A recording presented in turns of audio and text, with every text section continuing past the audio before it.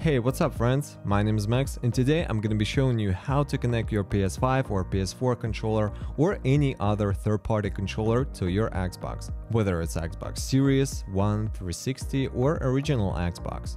There's only two ways. First is to use an adapter, the second is to use what is called remote play.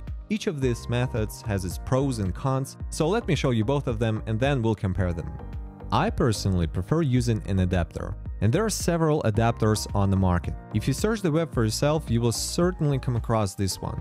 It's Wingman XB made by Brook. I'm not affiliate with this company. It's just the first that I bought, still works fine, does what I need, works with wired controllers, with wireless controllers, and with any game. So I'm satisfied. Now, how to use it?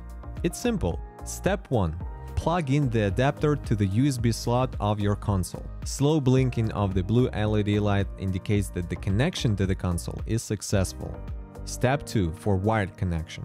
Simply plug in the cable for your controller to the adapter and it should start working. Simple as that. Step 2 for wireless connection.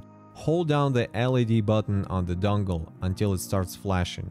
Then hold down the pair button of your controller until its light starts blinking. For example, on PS4 and PS5 controller, hold down the share button and the PS button at the same time. Boom, they both flashing. And in about 5 seconds, they should connect to each other. If the blue LED lights are permanently on, it means the controller is connected. Now the second way of connecting the controller is without using any adapters. And for that we will need a feature called Remote Play. We'll basically be using the smartphone as a hub between the console and the controller. It also works fine. If you have a proper connection, you won't notice any delay or input lag. So let's get into it. You will need a smartphone, install the official Xbox application, decent Wi-Fi connection, and the Bluetooth controller.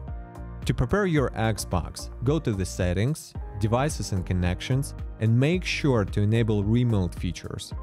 Then, to prepare your controller, you need to connect it to the smartphone. With PlayStation controllers, hold down the share button and the PS button until the lights start flashing. Go to Bluetooth settings on the smartphone, find your controller and pair them. Then open up the Xbox application. Then you'll see this little console icon on the top right corner. Go there and then tap on Remote Play on this device. Wait a couple of seconds, boom, the smartphone and the controller are connected. Now you can operate your console with a controller, and of course you can either play on the phone or on the TV. So, I showed you two ways. Each of them has its own advantages or disadvantages, so let's compare them. With an adapter, you'll have a perfect connection, no problems with input lag and every game will work just fine, like with an actual Xbox controller. You'll also be able to use wired controllers, and you can use this adapter on any Xbox console and on a computer as well.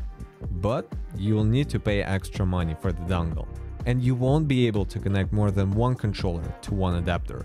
So if you need more controllers, you'll need more adapters. With remote play on the other hand, you don't need to buy anything extra. And the whole remote feature is fun. You can play from anywhere you want, even outside of your home. You'll just need a proper internet connection for that. But you won't be able to play Xbox original games and Xbox 360 games. On top of that, a remote control won't work with old consoles like Xbox 360 and original Xbox. In addition, you obviously won't be able to use wired controllers. And the worst side of this method is that you can't use your phone for anything except the remote feature while you're playing. If you close the Xbox app, you'll break the connection. So that's it. I hope this video helped you. Useful links will be in the description. And if you have any questions, just ask me in the comments. Thank you for watching. Take care and bye.